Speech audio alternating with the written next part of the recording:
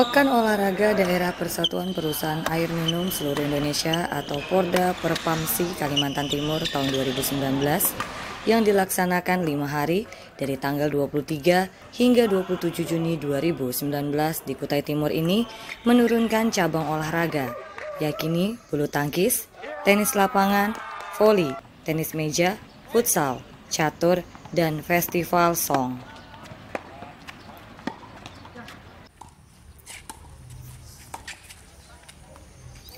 Hari pertama perhelatan para atlet PDAM sekalimantan Timur di ajang Porda Perpamsi dimulai dari cabur bulu tangkis, tenis meja, tenis lapangan, futsal, catur, dan voli yang dilaksanakan di dua titik venue yakini GOR BPSB Swarga Bara dan Grand Futsal.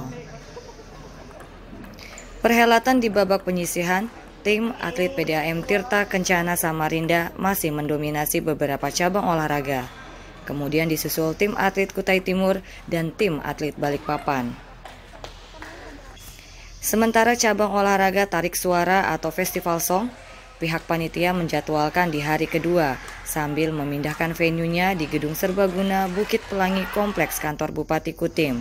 Sangat senang dan bangga karena kami ditunjuk menjadi tuan rumah adalah suatu amanah yang harus kami jalankan dengan baik.